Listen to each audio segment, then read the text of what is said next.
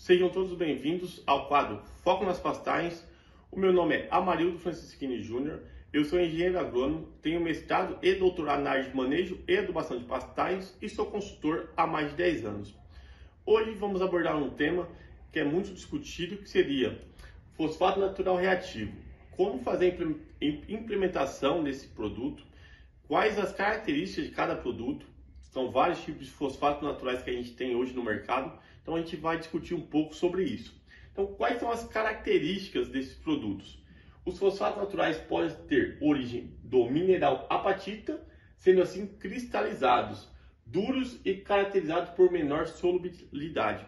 Então, esses fosfatos naturais, principalmente do Brasil, têm essas características. Então, geralmente é um fosfato que tem uma, uma liberação mais lenta.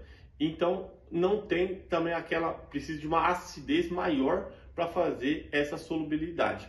Então, esse tipo de fosfato ele tem esse problema na, na em relação aos fosfatos naturais importados, que eles podem ter origem das rochas sedimentares, sendo orgânicos, podendo ter, ser utilizados sem passar por nenhum é, tratamento químico ou térmico. Então, os fosfatos naturais, que são de origem brasileiras, e os fosfatos naturais reativos. Os reativos, eles já por si só, eles não precisam estar passando por nenhum desse processo químico até chegar na sua propriedade. No entanto, esses outros também, geralmente o pessoal não faz nenhum tratamento químico. Só que, no entanto, eles precisam de, uma, de doses maiores e também um tempo maior para a liberação do fósforo. Então, sua utilização, preferencialmente em áreas de reforma de pastagem, onde a gente pode incorporar esse produto e que ele vai ser liberado ao longo do tempo. Solos com teor de P muito baixo no solo, utilizar um complemento com fosfatos solúveis em áreas de pastagem. Pode ser um super triplo, um MAP, um DAP, um super simples, não tem problema. Porque quando o teor de fósforo é muito baixo no solo, os fosfatos naturais reativos demoram um pouco para fazer a sua é, liberação, mesmo os reativos. Então, com isso, é, a pastagem ela demora para ser estabelecida. Então, aplicar em superfície apenas se forem doses é, muito baixas, que não tenha necessidade daquele elemento, daquele nutriente naquele momento. Então, a gente tem que tomar esses cuidados no posicionamento.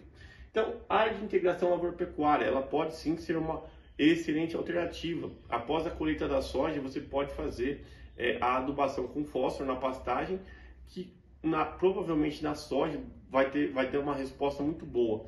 E com isso, esse sistema vai ficar muito produtivo. Então, essas são uma das dicas que a gente passa para vocês. Então, a gente fez um estudo no meu doutorado, aonde o primeiro ano a, a pastagem com Mombasa produziu 28 toneladas de matéria seca, o segundo ano 21 e o terceiro 10, tonel 10 sacas de soja a mais do que a, é, o tratamento com superfosfato triplo. Então, assim, mostra que esse residual, residual por três anos é, vale a pena até mesmo em áreas de soja. Então a gente vai vendo que ele vai mantendo a liberação dele ao longo do tempo.